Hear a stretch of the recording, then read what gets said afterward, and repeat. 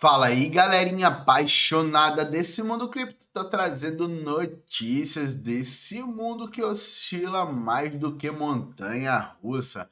Eu sou o Raulmar e venho trazendo notícias do Bitcoin, mostrar para vocês como o mercado anda, quantidade de tudo e mais um pouco. Market cap está em 1 trilhão e 80 bilhões de dólares.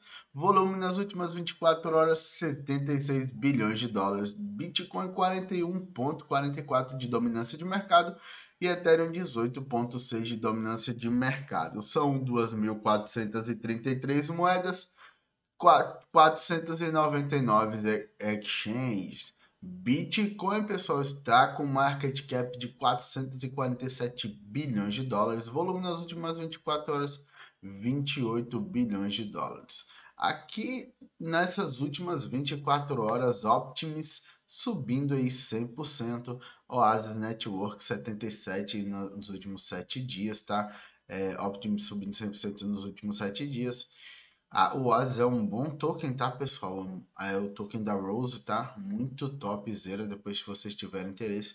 A Ravencon também é um token muito bom. Eu, raras vezes eu trouxe ela aqui no canal, subindo 49%. A Bitcoin Gold Tides também é excelente token, pode explodir agora na Copa do Mundo, Ethereum Classic, entre outros.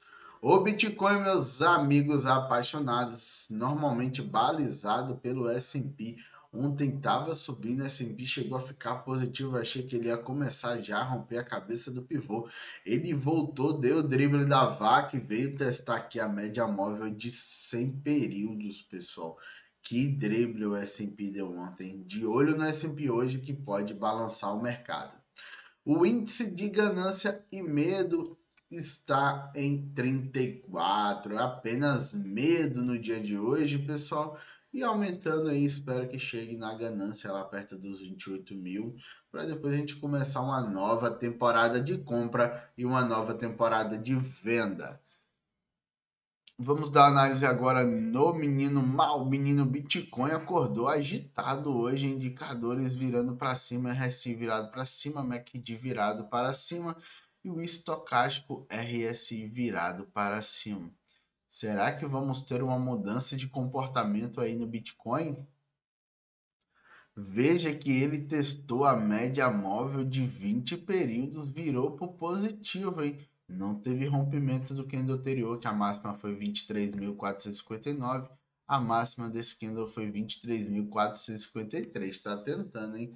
Parece que se o S&P deixar hoje, nós vamos ter um pivô de alta no Bitcoin. Ele que vem fazendo pivôs, ó. Perna 1, reversão perna 2. Tentou fazer a perna 3, falhou. E aqui, pessoal, aqui são elas. Falhou, falhou. Mas está fazendo um padrão igual um fractal de bandeirinha. Outro fractal de bandeirinha, a mesma coisa, ó. E aí, rompendo essa região aqui, fica muito bom. Se ele sair dessa região, já fica maravilhoso. E aí ele repete o padrão quando entra o volume perto da média de 20, pode ser que ele estoure esse, essa, esse alvo e venha testar a média de 100 períodos. Tem alvo? Tem alvo, claro que tem alvo. Extensão de Fibonacci neles. Se isso começar, se isso se confirmar como fundo e ele vier para romper topo, veja que aqui já é o topo do canal, tá? Nós temos o alvo 100% de fibra exatamente nessa média de 100 períodos aqui que vai balizar o mercado. Então, parece que essa média de 100 períodos que está aí perto dos 26.278, 26.710 pode sim balizar o mercado e dar a direção para o rumo dos dias de hoje. Chegamos à quarta-feira, pessoal, meio da semana, mercado uma loucura loucura.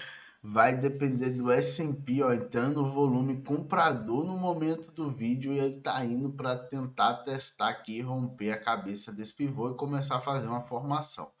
Espero que não seja um trap, espero que não seja uma armadilha para os comprados, espero que continue porque a gente está tendo aí, ó, topos e fundos ascendentes. Então é maravilhoso. Aqui teve um fundo, aqui teve um topo, ó fundo mais alto, ou topo mais alto, fundo mais alto, deixou um topinho duplo, porém conseguiu romper o topo daqui.